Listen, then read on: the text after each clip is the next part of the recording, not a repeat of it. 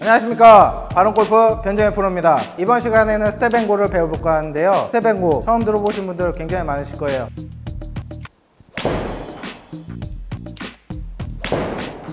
이 동작.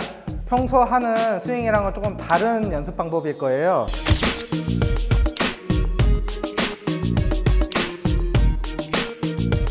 이걸 왜 하느냐? 자 우리가 백스윙에서 다운스윙을 시작하실 때 어디로 스타트를 해야 되는지 잘 모르시는 분들이 굉장히 많아요. 이 step and go를 하시면 하체 리드를 할 수 있는 동작을 배우실 수 있는 거예요. 연습을 하실 때 백스윙에서 다운스윙 하실 때 하체 리드. 이 리드를 같이 해주시면 하체 리드가 되고 손이 상체에 의해서 딸려오겠죠? 이 상태에서 회전이 들어가면 우리는 하체 리드를 충분히 원활하게 쓸 수 있으며 거리를 좀 더 멀리 보낼 수 있는 효과를 더 보실 수 있습니다. 그래서 연습 방법은 3단계를 나눠서 알려드릴게요. 처음에 이게 어려워서 잘 못하시는 분들이 굉장히 많으신데 백스윙에 드실 때 왼발만 살짝 드시는 거예요. 들어서 내려올 때 왼발을 디뎌주면서 스윙을 하시는 거죠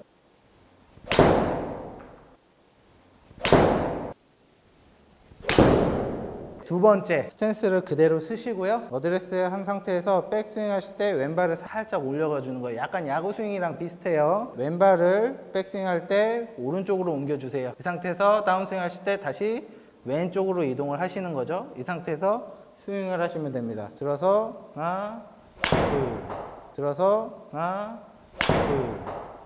하나 자 이제 세 번째 제가 처음에 보여드렸던 동작이죠. 센스를 모으시고 나서 하나 둘 센스를 모으시고 나서 하나 둘 지면 반발력을 이용하기 때문에 제자리에서 쓰셔도 괜찮으세요. 첫 번째 단계에서 왼발을 들고 다시 왼발을 지지대를 하죠. 지면에 대한 반발력을 쓰기 때문에 하체를 굉장히 많이 쓸 수가 있으세요. 비거리 증대와 본인만의 리듬 템포를 좀 더 확실하게 가져갈 수 있는 일관성이 나오실 거예요. 하루에 100번 이상은 좀 해주셔야지 그 몸을 쓰는 동작을 많이 써주셔야지 본인도 모르게 몸이 써지는 거죠. 본인도 모르게. 항상 우리는 스윙을 하실 때 하체를 많이 써야지. 손 손을 많이 구워야지 그런 의식 자체를 하는 게 아니라 몸이 그냥 무의식적으로 알아서 이렇게 하체가 딱딱 이렇게 써주셔야 되는 거예요. 그래서 이 연습은 무조건 하셔야 됩니다. 다른 골프 전쟁이 프로였습니다.